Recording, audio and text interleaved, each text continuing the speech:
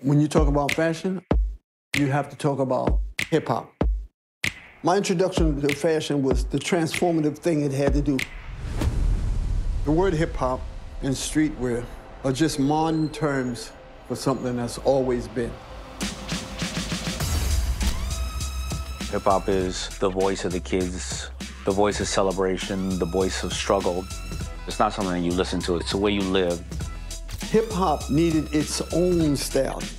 It just took off from there, you know? All we ever wanted from the beginning is to inspire people to feel like fashion is for everyone. We would go to the stores and we would buy things and edit, tear them up, and make it our own. Diamonds and pearls and dripping and gold and silver chains. Everything was like larger than life. Back then, no clothing companies at all were paying attention to hip hop artists.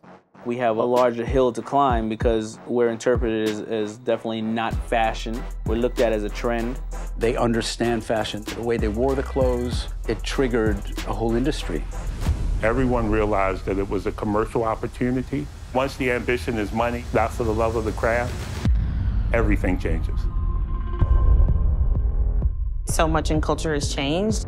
If you don't give black designers credit for their work, black people won't support the brand.